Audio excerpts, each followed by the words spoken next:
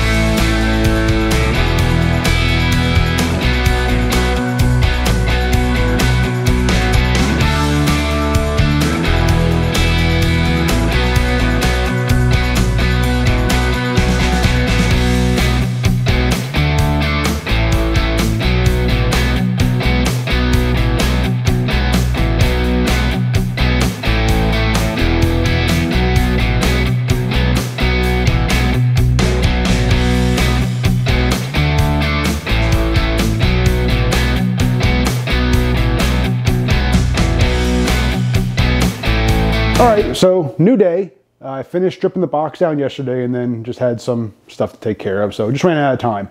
So this morning I started working on, find it, the mounting of the box.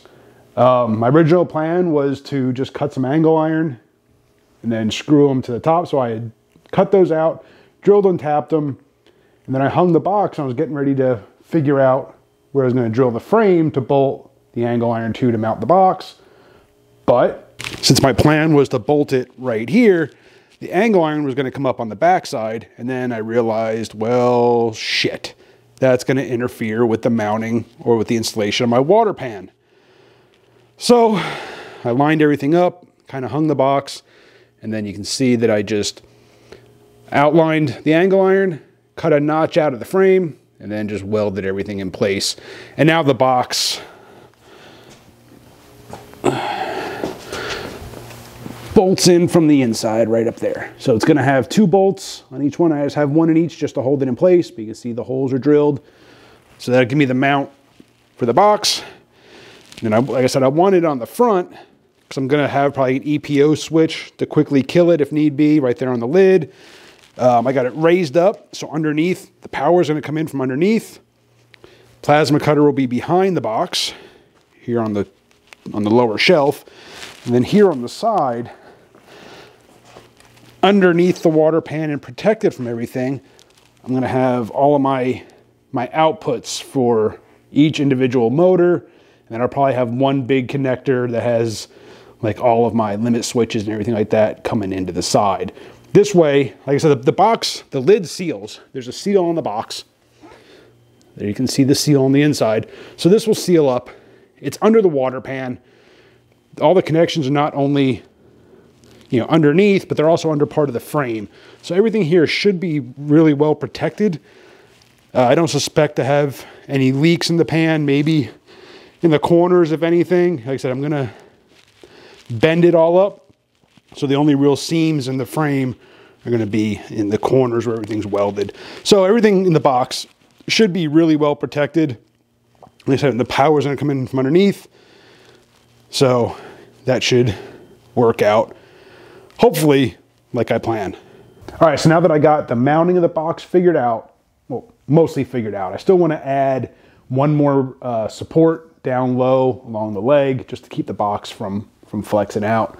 But I'll do that later. That's no big deal. I really want to start working on getting some of the electronics mounted and some of that stuff figured out.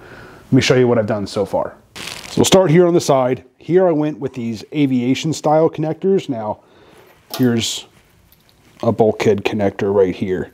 So it's a four pin, one, focus there. So it's a four pin connector there, there we go, which is perfect because the motors are four wire. So I went ahead and I laid out my lines, laid out my connectors, and uh, just drilled the holes and then mounted the four bulkhead connectors. Each one will get wired exactly the same. And then I labeled each motor so that I know from the outside exactly which one's which, just to keep things simple, keep things organized. If I need to troubleshoot, I'll know exactly which one is which. And then that, on the inside, are my four stepper drivers. And once again, each one is labeled. Just took a P-touch and labeled each one. So again, I know exactly which one is which. And I'm really trying to keep my cable runs as short as possible. So again, that's why I mounted these right here and be able to go right from here to the connector on the bulkhead. Now, the only thing I'm not thrilled about these is they are, come on, focus. They are solder. So I would have rather had, you know, be able to crimp the connectors and then install the pins, but whatever. You know, a few minutes with a soldering iron and those will be good to go. Um, power supply. My power supply, I'm hopefully going to be able to mount it right here Again, power is going to come in from the bottom. So again, trying to keep the cable runs as short as possible. I'm hopefully going to have power come in right here. I'm still waiting on that connector. And then hopefully it'll just go right in right here, right to there. And then I'll have a couple of, this is a 24 volt power supply. So I have a couple, I have a 24 volt bus bar and a ground bus bar. And then everything will connect to those bus bars. And then everything is also going to ground to the case All the stepper drivers will ground to the case also through the bus bar. So everything should be nice and grounded. All the input cables coming from the motors are going to be shielded. Why are you focusing all weird? Those wires are all going to be shielded and grounded at the connector, which the connector is grounded to the case, which that will go ground to the power supply. Everything should have a good ground connection, hopefully eliminate any um, electrical interference, EMI, from the plasma cutter. So um, the controller. So this is the controller that I went with.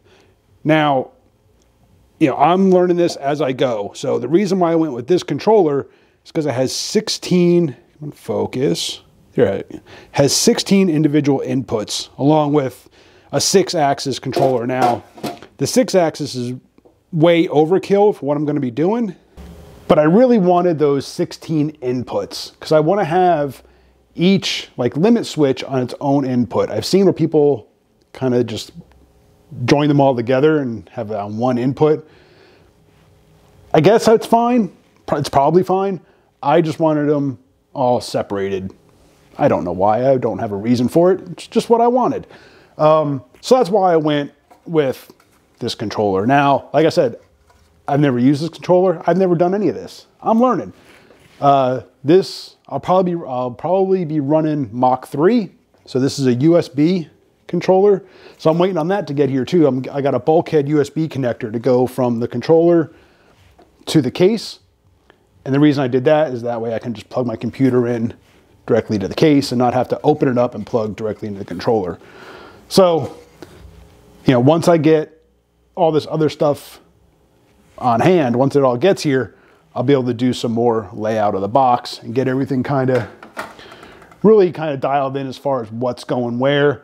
This this is really just kind of an introduction as far as my plans for the electronics and how I'm going to go ahead and do this.